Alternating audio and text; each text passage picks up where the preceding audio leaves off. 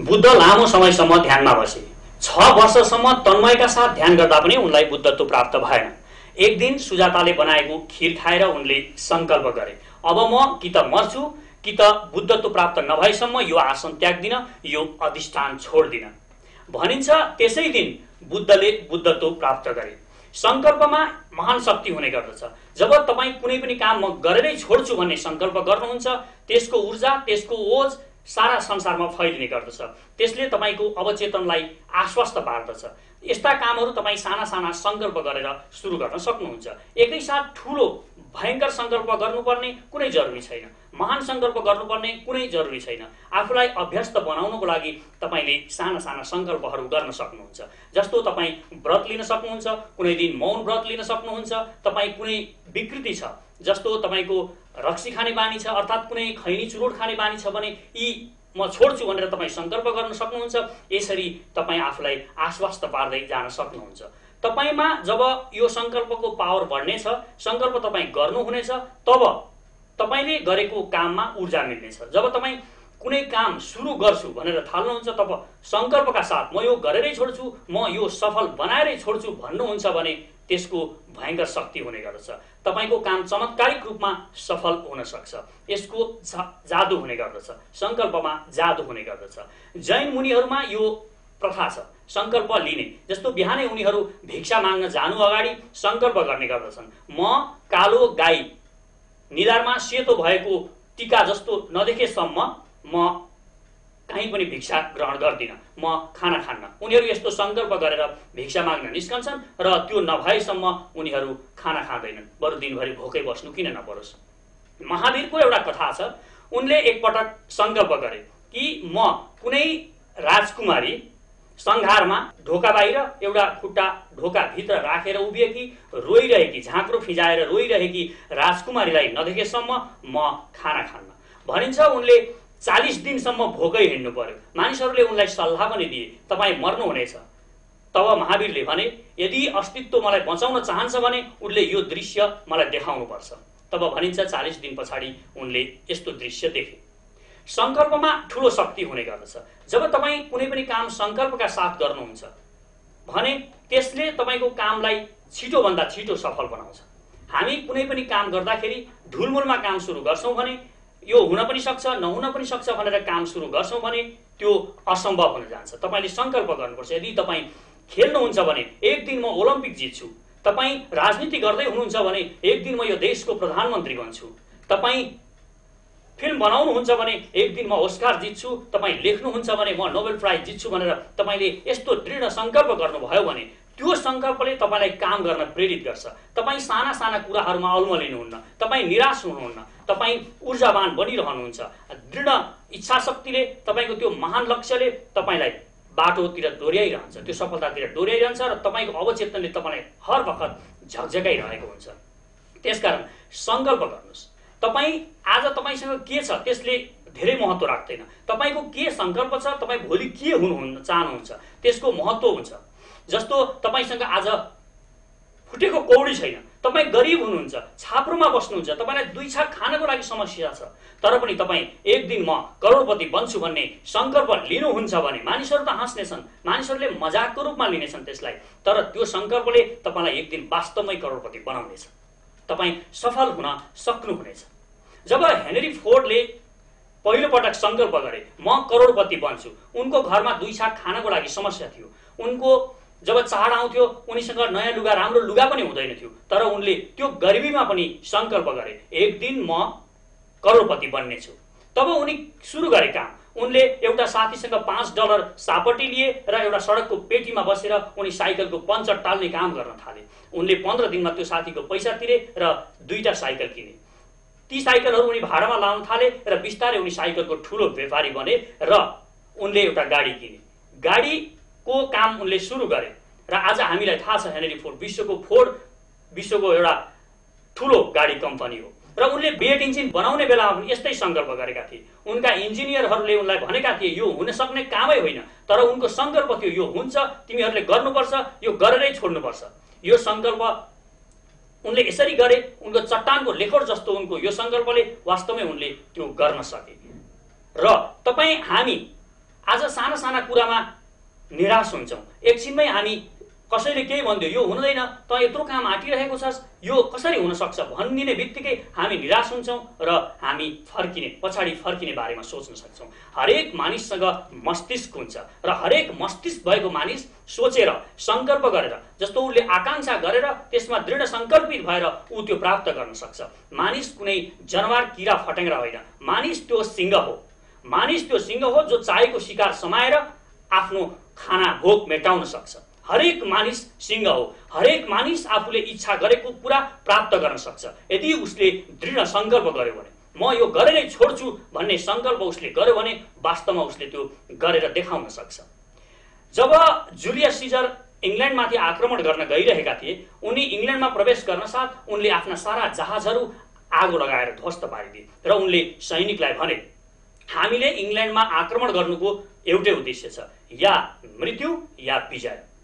हामी कि त मर्नेछौँ कि त जितेर जानेछौँ जित्नेछौँ। यो सङ्कल्प जब बाटो पछाडि फर्किने बाटो बन्द हुन्छ हामीले जित्नै पर्छ भन्ने सङ्कल्प गरिन्छ तब वास्तवमा विजय हुन्छ जुलियस सिजरले जिते। यसरी सङ्कल्प गरियो भने तपाईँले ढुलमुले नीति त्याग्नुभयो भने यो हुनसक्छ कि सक्दैन? जस्तो कि तपाईँ कुनै काम गर्दै हुनुहुन्छ आज काम सुरु गर्नुभएको छ तपाईँले। र तपाईँ यो काम हुन पनि सक्छ नहुन पनि सक्छ हेरौँ के हुन्छ। मैले पसल खोलेकै छु मैले उद्योग गरेकै छु अब मैले आफ्नो कर्तव्य पुरा गरेकै छु। भएन भने के गर्न सकिन्छ र? मेरो हातमा त छैन। यसरी तपाईँ कुनै काम सुरु गर्नुहुन्छ भने तपाईँ आधा असफल भइसक्नु भएको छ। तपाईँले आधा असफलताबाट काम सुरु गर्नुभएको छ। तर तपाईँ कुनै काम गर्दाखेरि यो ढुलमुलमा नरहेर म यो काम गरेरै छोड्छु। म गर्छु। म यसमा सफल हुन्छु। म एक सफल मानिस हुँ भन्नुहुन्छ भने तपाईँ आधा सफलताबाट काम सुरु गर्नुहुन्छ। अब तपाईँ सोच्नुहोस् तपाईँ कुनै काम आधा असफलताबाट सुरु गर्न चाहनुहुन्छ या आधा सफलताबाट। कोही पनि विजेताहरू कोही पनि सफल मानिसहरू कुनै पनि काम गर्दा आधा सफलताबाट सुरु गर्छन्। अर्थात् उनीहरू जब सुरु गर्छन् उनीहरू भन्छन् म यो गरेरै छोड्छु। म यो गर्छु। म विजेता हुँ। उनीहरू यस्तो भाव मनमा राख्छन् र सङ्कल्प गर्छन्। उनीहरू आफ्नो सङ्कल्पबाट एक इन्च पनि तलमाथि हट्दैनन् संसारले उनीहरूलाई यो काम हुन सक्दैन त यो के गरिरहेको छस् भनेर कराउन् तर ऊ आफ्नो सङ्कल्पमा दृढ रहन्छ र ऊ गरेरै छोड्छ। यो सफल मानिसहरूका लक्षण हुन्। तपाईँ पनि गर्न सक्नुहुन्छ हर मानिसमा यही बीज हुन्छ। हर मानिसमा यो सफलताको बीज हुन्छ। हर मानिसमा सिङ्ग रहेको हुन्छ।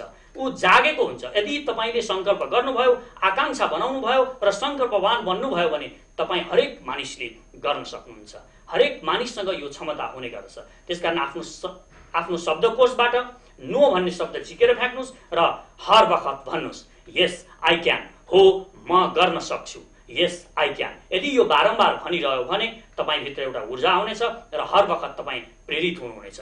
सङ्कल्पवान भन्नुहोस् सङ्कल्प गरिरहनुहोस्। तपाईँ गर्न सक्नुहुन्छ। हो तपाईँ गर्न सक्नुहुन्छ। किनभने हरेक मानिसभित्र अपार सम्भावना र सामर्थ्य रहेको हुन्छ।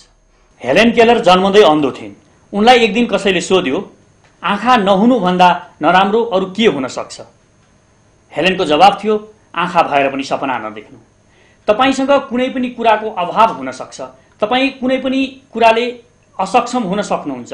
तर त्यतापट्टि ध्यान नदिएर तपाईँले आफ्नो ध्यान सफलतातिर ध्यान दिनुभयो भने एक दिन तपाईँले मिराकल गर्न सक्नुहुन्छ। तपाईँले अभूतपूर्व काम गरेर देखाउन सक्नुहुन्छ। मानिस बनेको हुन्छ पृथ्वी जल वायु अग्नि र आकाशबाट। हरेक प्राणीहरू यसरी नै बनेका हुन्छन् तर मानिसमा अर्को एउटा कुरा हुने गर्छ। यी पाँच कुरादेखि बाहेक मानिससँग एउटा मस्तिष्क माइन्ड पावर हुने गर्दछ। मानिसले चाह्यो भने उसले जेसुकै पनि गर्न सक्छ उसलाई कुनै पनि शारीरिक अभावले रोकेर राख्न सक्दैन। मानिसले इच्छाएको कुरा संसारको जुनसुकै कुनामा गएर जुनसुकै अपुरो र असफलताका बावजुद पनि ऊ पुरा गरेर देखाउन सक्छ। उसलाई कुनै परिबन्ध कुनै बाध्यताले छेकेर राख्न सक्दैन। मानिसले उज्यालोतिर हेर्ने प्रयास गर्यो भने एक दिन ऊ अवश्य नै सफल हुन सक्छ। एउटा मानिससँग कुनै कुरा नहुनुले त्यति फरक पर्दैन। एउटा मानिससँग आँखा होस् या नहोस् एउटा मानिससँग हात खुट्टा हुन् या नहुन् यदि उसले आफ्नो मस्तिष्क प्रयोग गर्यो भने उसले अभूतपूर्व काम गरेर देखाउन सक्छ। एक दिन हात खुट्टा नभएको कुनै पनि मानिस जो बेडमा सुतिरहेको हुन्छ डाक्टरले भनेको पनि हुन्छ यो हिँड्न पनि सक्दैन तर त्यही मानिसले जुरुक्क उठेर ओलम्पिक जितेर देखाइदिन सक्छ। यस्ता उदाहरण यस्ता कथाहरू हामीसँग धेरै छन्। हात खुट्टा नचल्ने बोल्न पनि नसक्ने स्टिफेन हकिङ र झमक कुमारी जस्ता मानिसहरूले आफ्नो चेतना आफ्नो मस्तिष्कको प्रयोग गरेर अभूतपूर्व काम गरेर देखाउन सक्छन्। यो सम्भव छ। संसारमा कुनै पनि काम मानिसले आँट्यो भने मानिसले सोच्यो भने ऊ गर्न सक्छ। हामी के गर्छौँ? हामी आफ्ना असफलता हाम्रा कमजोरीहरूमा ध्यान दिन्छौँ। हामीमा के छैन हामी त्यतापट्टि ध्यान दिन्छौँ र त्यसमा रोएर बस्छौँ। त्यसरी रोएर बस्नुको साटो हामीले त्यो शक्ति त्यो ऊर्जालाई त्यो दिशातिर उन्मुख गऱ्यौँ भने हुन सक्छ गर्न सकिन्छ भन्ने दिशातिर हामीले उन्मुख गऱ्यौँ भने वास्तवमै हामीले जेसुकै गर्न सक्छौँ। र यो हरेक मानिसले गर्न सक्छ। मानिसभित्र यो अपार सम्भावना र सामर्थ्य रहेको हुन्छ। म जादुमा विश्वास गर्छु। त्यो जादु होइन जुन मानिसको आँखा छलेर गर्ने गरिन्छ। म त्यो जादुमा विश्वास गर्छु जुन मानिसले वास्तवमै गरेर देखाउन सक्छ। आफ्नो मस्तिष्कको प्रयोग गरेर आफ्नो ऊर्जा आफ्नो सामर्थ्य र आफ्नो दृढ आत्मविश्वासको प्रयोग गरेर देखाउन सक्छ गरेर देखाउन सक्छ। म त्यो जादुमा विश्वास गर्छु। म पनि कुनै बेला जब जादुमा विश्वास गर्दिनँ थिएँ तब म यस्ता कथाहरू भन्ने गर्थेँ। मानिसहरूलाई मानिसहरूले गर्न सक्दैन मानिसहरूलाई अविश्वास गर्थे। म पनि एउटा संस्कारले बाँधिएको थिएँ जसरी हरेक मानिस संस्कारमा बाँधिएको हुन्छ। काहीँ बोल्नु पर्यो भने म उदाहरण दिँदाखेरि भन्ने गर्थेँ। यो लङ्गडाले सगरमाथा चढ्नु जस्तै असम्भव छ। तर एक दिन म यसरी बोलिरहेको बेला एकजना श्रोता मपट्टि फर्केर भने तपाईँलाई थाहा छ कि छैन? थमस थोमस हुइट्यागर सगरमाथा चढिसकेका छन्। त्यस दिनदेखि मेरो यो सोच्ने शैलीमा थोरै परिवर्तन आयो। मैले सोचेँ अब मानिसहरूले जे पनि गर्न सक्छ अन्धा मानिसहरू सगरमाथा चढ्न सक्छन् भने हाम्रै सुदर्शन गौतम जो हात नभएर पनि सगरमाथा चढेर देखाउन सक्छन्। मानिसले कुनै पनि अभावले मानिसलाई रोकेर राख्न सक्दैन। तपाईँको शारीरिक असक्षमताले तपाईँलाई रोकेर राख्न सक्दैन। यदि तपाईँसँग इच्छा शक्ति छ भने तथापि हामीसँग सबै कुरा हुँदा हुँदै पनि हामी अनेक बाध्यता देखाएर आफ्ना कमजोरीहरू लुकाउने आफ्ना कमजोरीहरू लुकाएर अरूलाई दोष दिने बाध्यतालाई परिबन्धलाई दोष दिने गर्दछौँ। यसले गर्दा यस्तो भयो उसले गर्दा यस्तो भयो भनेर हामी अरूलाई कारण मान्दछौँ। एक दिन एउटा भिकारी एक दार्शनिककोमा गयो माग्नको लागि। उसले भिका भिकारीले दार्शनिकसँग भन्यो हजुर मलाई दया गर्नुहोस्। म गरिब छु मलाई केही दिनुहोस्। म धेरै दिनदेखिको भोको छु मसँग केही पनि छैन। दार्शनिकले भने तर म त तिमीमा सबै कुरा देखिरहेको छु। तिमीलाई म सम्पन्न देखिरहेको छु। भिखारीले भन्यो तपाईँ मेरो मजाक उडाउँदै हुनुहुन्छ। तपाईँ मेरो मजाक गर्नुहुन्छ। दार्शनिकले भने होइन। यदि तिमी तिमी तिम्रो दुई हात मलाई दिन्छौ भने म तिमीलाई एक हजार स्वर्ण सिक्काहरू दिन सक्छु। तिमी के तिम्रा दुई हात मलाई दिन्छौ? दार्शनिकले भने कहाँ हुन्छ हजुर मैले धेरैतिर यो हातको प्रयोग गर्नुपर्ने हुन्छ। त्यो त म कहाँ दिन सक्छु? तब दार्शनिकले भने त्यसो भए तिमी मलाई तिम्रा खुट्टाहरू देऊ। म तिमीलाई दस हजार स्वर्ण सिक्का दिन्छु। भिकारीले भने होइन हजुर मैले त माग्न हिँड्नुपर्छ दुनियाँ चाहर्नुपर्छ। म कहाँ त्यस खुट्टा दिन सक्छु र? त्यसो भए तिमी मलाई तिम्रो आँखाहरू देऊ। तिमीलाई म एक लाख स्वर्ण सिक्काहरू दिन्छु। दार्शनिकले भने। भिकारीले भन्यो म हिँड्नुपर्छ भिख माग्नको लागि मैले हेर्नुपर्छ त्यस कारण म दिन सक्दिनँ। हो। तिमी पुरा तिम्रो सोच भिख माग्नेमा छ। तिमी आफू सम्पन्न छु आफूसँग के छु त्यो बारे सोच्दै सोच्दैनौ। तिमीसँग यति बहुमूल्य चिजहरू छन्। यसको प्रयोग गरेर तिमी करोडौँ करोड स्वर्ण सिक्काहरू बनाउन सक्छौ। तिमी अरूलाई दान दिने हुन सक्छौ। तर तिमी भिखारी भएर हिँडिरहेका छौ जबकि तिमीसँग यति धेरै कुराहरू छन्। दार्शनिकले भने हामी सबै सब यही बाटोमा हिँडिरहेका छौँ। हामीसँग सबै कुरा हुँदा हुँदै पनि हामी आफूलाई असक्षम अयोग्य ठानेर अरूका राम्रा कुराहरू हेरेर यो यस कारणले ऊ त जन्मदै उसँग सबै कुरा थियो ऊ सर्व सर्वगुण सम्पन्न थियो यस्ता कुराहरू गर्छौँ हामी।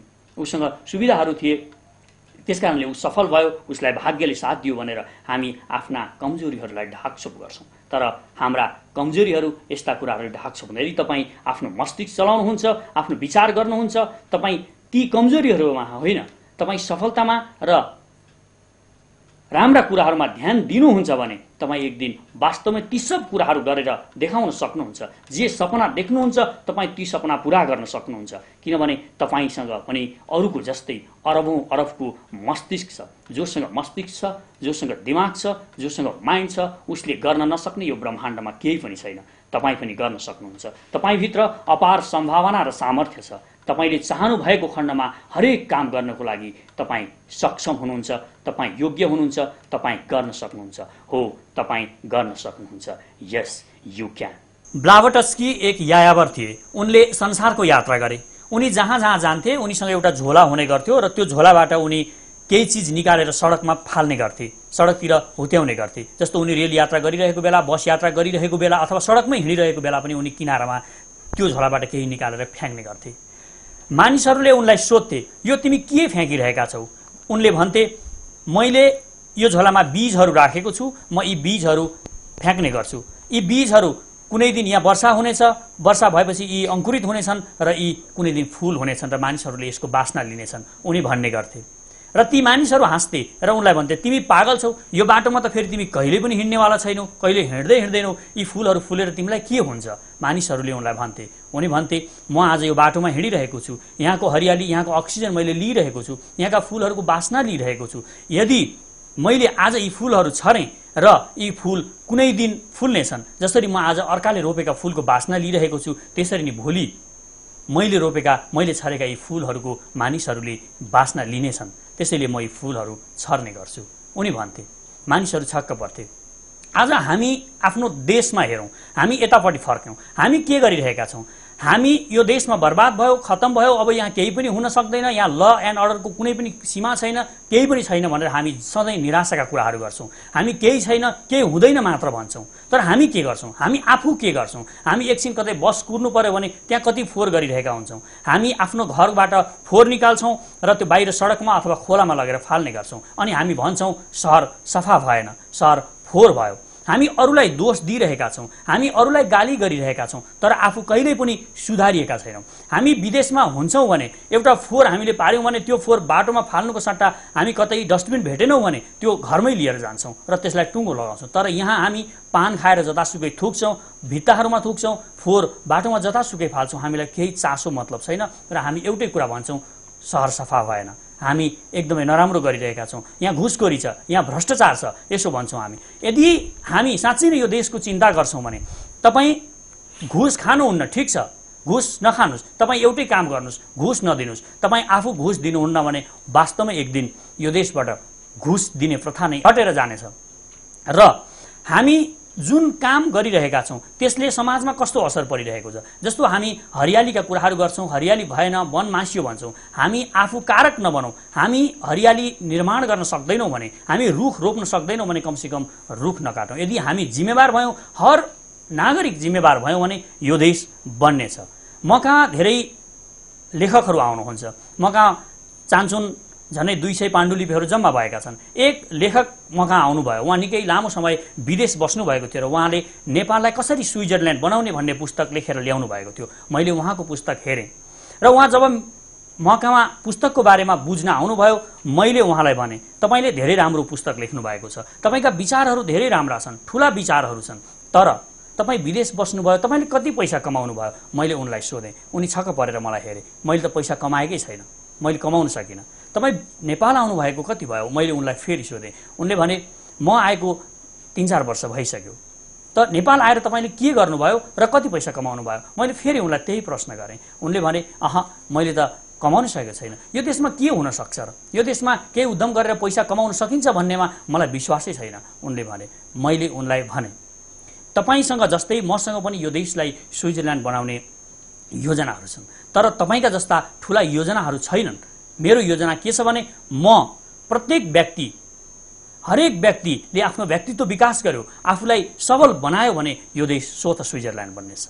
यो देशका जनताहरू हरेकले धन कमाए हरेक मान्छेले केही उद्यम गरे केही न केही गरेर देखाए भने उनीहरूले जब सम्पत्ति निर्माण गर्नेछन् उनीहरूले त्यो सम्पत्ति करको रूपमा बुझाउनेछन् र सरकारले त्यसलाई विभिन्न क्षेत्रमा शिक्षामा स्वास्थ्यमा र विकासमा लगानी गर्नेछ र हाम्रो देश स्वत स्विजरल्यान्ड बन्नेछ।